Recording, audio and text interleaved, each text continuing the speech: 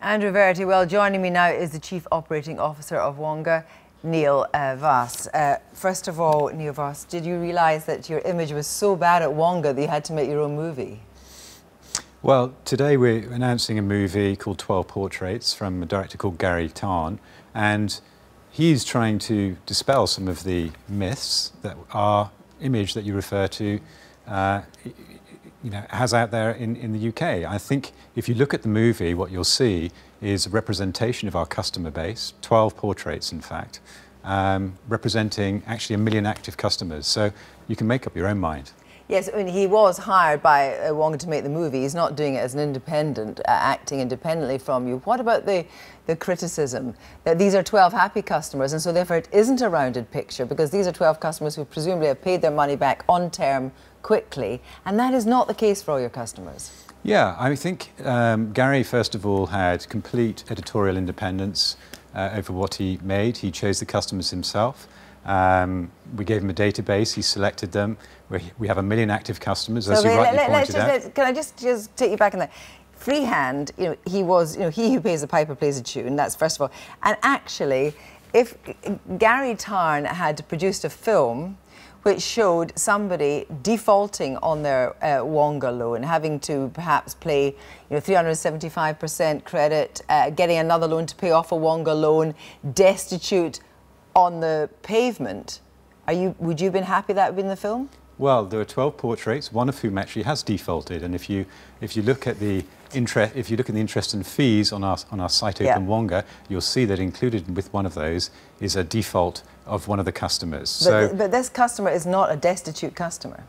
No, and the vast no. majority of our customers are not. And this is why we're making the film, because the perception out there is that all of our customers are poor and vulnerable, and we think the voice of the silent majority, the people who actually use the service, is not being heard. But the trouble is, if you present too rosy a picture, it encourages people that perhaps really can't afford it to take a loan. I just want to play a little uh, clip. We, we heard from Liz Matthews in the film, and this is what happened to her. I got into a vicious cycle where I'd borrowed altogether four loans and in the end I just could not pay any of them back. So how much was the original loan and the how much do you owe now? The original was for £300 and I owe now nearly uh, £2,000. And I was very frightened, I was very worried. I thought, how am I going to pay this back? You know, and it's just, just so worrying. You can't sleep, you just can't sleep at night.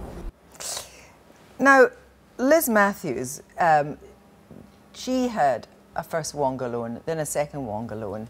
I mean, what were the affordability checks? You say you do affordability checks, but I mean, she got herself into terrible trouble. Yes, so I can't comment on, on Liz's particular case because I'm not familiar with it. That's no. the first I've heard of it. Um, I don't even, I'm not even sure if Liz is actually a Wonga customer she is. or not. She, so she first, is. first loan she took out six months ago, she mm. took 300, which she paid back, and then she took 400, and then she got into trouble. Uh, because the thing about Liz Matthews is, and everybody else, is you don't require any documents, proof of what they're saying is true. So what we do, Kirsty, is we, we look at a lot of information about each of the customers, up to about 8,000 pieces of data. That includes the underlying credit reference agencies, it includes even things about how they navigate our site. So, for example, if they slide right up to the right, it's a good indicator that they may and not pay us back. Does that take an hour, a day, a week? Uh, it's, uh, it's an online service, like most online so services. it's quite quick. That, that check can be made very quickly, and we mustn't confuse speed. Minutes? We mustn't confuse speed with accuracy. Well, well Be exactly, because I was going to say that the thing about Liz Matthews is I spoke to her today mm. and she admitted to me that she had put down that she was employed on both occasions mm. and she wasn't employed. Okay. And so therefore she received money from you having clearly would not have passed an affordability yeah. check. So people do get access to money on Wonga and indeed other payday loan sites who are simply not capable of paying it back. She has got herself into terrible financial trouble now. And you have no way of checking that. We have a lot of ways of checking that, Kirsty, and you know, uh, but not Liz, with her. Liz, Liz may be a case that I don't right now have the details in front of me. What we're here to talk to about is that there are a million customers of whom Yeah. the vast, vast, vast majority are happy and Yes. that their voice has not been heard. No, but I- and they are being misrepresented as people who are like Liz, as all poor and vulnerable and get themselves into a spiral of debt. That is simply not true. It is the case that about 7.5% either have rollovers, which cost them a lot of money, or indeed do default on their total uh, amount. Those people, would you agree, are often desperate and will say things to get money when they are ill, they can ill afford to pay it back. I would not agree that they're desperate. I think what you'll see, and I, the reason I'm actually here and sitting here and made that film was because I've spent every, since I joined the business last year, every week looking at our customer feedback, and I've actually been surprised by two things. One, the extremely positive reaction from many of our customers, including stories like you'll see in the film 12 portraits, and hundreds of thousands of others. And the second thing that I've been surprised about is the reaction of the media and other commentators to calling out the, the, the exceptions like Liz and assuming that everyone is like that. No, no, and but the balance if, is if not, we're talking about seven, I'm sorry, if we're talking about seven and a half percent rollovers and defaults, that's a substantial figure. But tell me, are you confident that customers know exactly the consequences of taking out a Wonga loan? I'm very confident that we, sh- we show everything as clearly and transparently as we possibly can. The price is, is, is marked very clearly on the sliders. The terms under which people borrow from us are marked very, very uh, clearly. And the fact that 90% of our customers would recommend us to a friend is probably evidence that, that, that they agree with us. But well, well, um, just talking about the implications, I, I want you to tell me how you explain this. And this is uh, a, an interview we did with one of the country's most senior mortgage lenders. Our experience is that if somebody's had a payday loan within the last few months, lenders will either automatically reject the application or will ask lots of questions about why that person can afford a mortgage now when they were clearly living from hand to mouth quite recently. And so, in order to address that problem, because people don't appreciate the issues, I think it would be very sensible if payday loan lenders were required by the regulator to state on all their literature that taking out a payday loan may prejudice your ability to get a mortgage. That is a senior mortgage broker. And you know, even if your customers are happy and pay back, the very fact of having taken out a Wonga loan may impact on your ability to get a good mortgage. So I can't possibly comment on the other financial institutions' policies, and the regulator will decide if they think that's an appropriate But response. he is a senior uh, mortgage broker in the United Kingdom, and what he's saying is that, on terms of a whole credit rating, if you've taken a Wonga loan, Hmm. you're less likely to get a decent mortgage. I've been on the website several times today, and nowhere do you say caution if you take out a Wonga loan, it may prejudice your ability. As I said, I can't comment on the policies of other financial institutions, and I don't think should say I don't think that is that is the policy of every single financial institution. What I think But do you accept, no, just to, to stick with this, because this is about transparency, and I think it's really important because you claim that you know Wonga is transparent. It is a fact that if you take out a loan from a payday loan company, when you go to put your mortgage application in, goodness me, help to buy is you know is tough enough. That it may impact on your ability to get a good mortgage. It would be very simple to put that rider on your website. Why don't you do it? because, as I've explained, I don't know that that is the policy of every single financial institution. Mm. As your as your colleague there says, or your, your interviewee says there, if the regulator thinks that's an appropriate thing to do, they'll do that. We're, we're going through a process with the OFT are reviewing our business, the Competition Commission is reviewing our business, and the FCA are doing the same. I'm sure they will But- tighten up practices across the whole of the Sure, industry absolutely. and, and this deal is, with those is, things this is if interesting. necessary. This is interesting because you know the regulator is looking at you. You say you want to be transparent, and obviously you want to do well out of the regulator's inquiry. Here's an opportunity to say, actually, caution.